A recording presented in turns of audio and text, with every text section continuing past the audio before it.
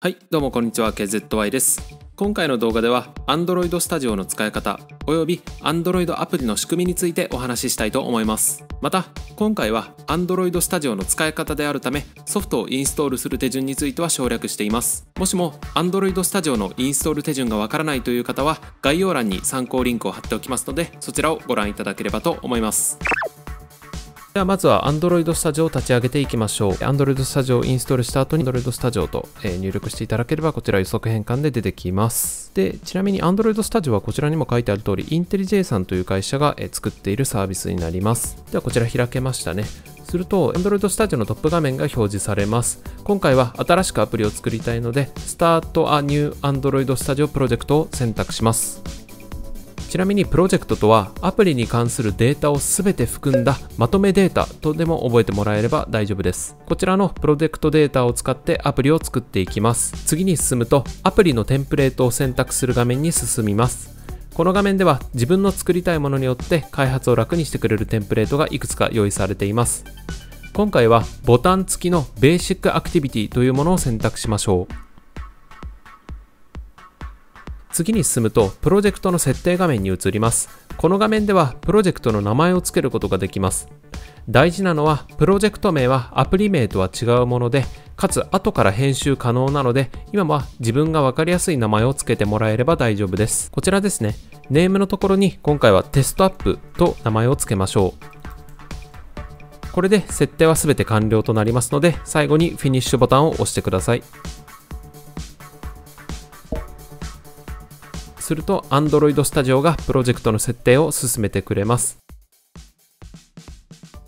今表示されているこちら Tip of the Day というのは Android Studio からのアドバイスみたいなものです。こちらはクローズいただいて問題ありません。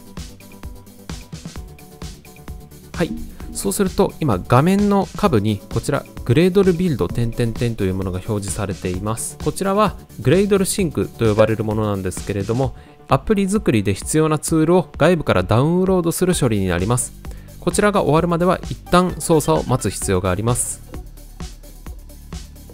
はい。ではこちらグレードル関連の処理がもろもろ完了すると、えー画面左下にグレードルシンクフィニッシュドというものが表示されます。こちらが、え完了すると、え早速ずらっとコードが書かれている画面に進みました。ただしこれだと何がどうなっているのかよくわからないのでアプリのデザインを作っている部分をまずは見ていきましょう。まずは画面左の RES フォルダをクリックしてください。そうすると、えーその次にレイアウトフォルダというものがあるのでこちらもクリックしてください。そうすると4つ XML と名前のついたファイルが表示されます。そのうち ActivityMain.xml をダブルクリックしてください。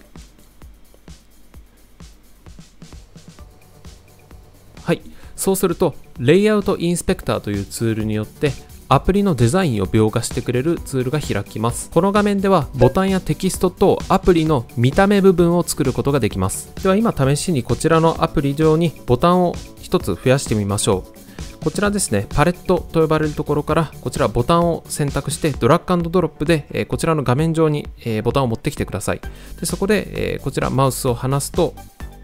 はい、この通り、え画面上にボタンを設置することができます。このような感じで、例えば画像を表示したかったらイメージビュー、例えばテキストを表示したかったらテキストビューをドラッグドロップで持ってくることによって、アプリの見た目部分を作ることができます。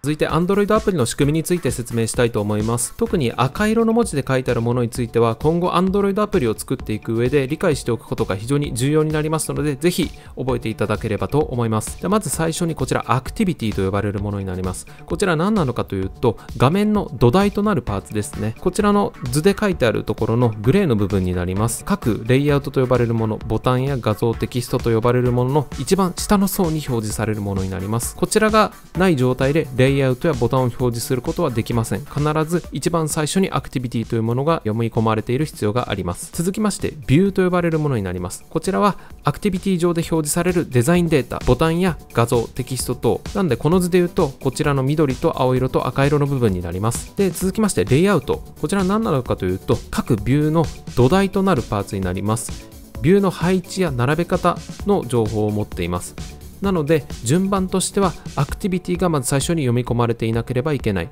その次にレイアウトが読み込まれていなければいけない。でその上にボタンや画像テキストというものが表示されている必要があります。これが例えばレイアウトがない状態で直接アクティビティの上にテキストを表示することはできません。その場合はアプリがクラッシュしてしまいます。なので必ずこのレイヤーと呼ばれるものになるんですが一番最初にアクティビティ次にレイアウト。その上にボタンや画像テキストが表示されると覚えておいてください。はい。では続きましてデザインとロジックという話をしたいと思います。アプリというのはこのデザインとロジックの組み合わせで作られています。デザインというのはその名の通りこのボタンの見た目そのものを指します。ロジックというのはその中身の処理プログラムのことを指します。例として挙げると、えー、例えばボタンを押して次の画面を読み込むという処理があるとするとまずはボタンが必要ですよね。ユーザーの人が実際に押して次に進むっていう際のその見た目部分。ボタンこちらがデザインと呼ばれるくくりになります。でそのボタンが押された後に次の画面を読み込むという処理。こちらについてはこのロジックという部分にプログラムを書いてあげる必要があります。こちららファイル名ですと .xml というものがデザインを指すファイルになります。で、プログラムを書く部分については、こちら .kt、こちら Kotlin の略なんですが、.kt というファイルの中にプログラム、このロジック部分を書いていきます。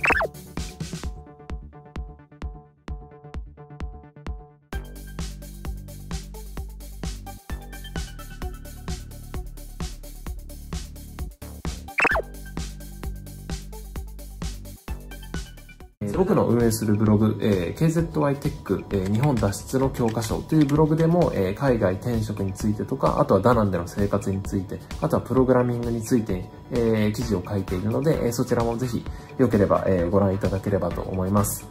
はい、します。それではまた、えー、次回の動画でお会いしましょう。Have a nice day,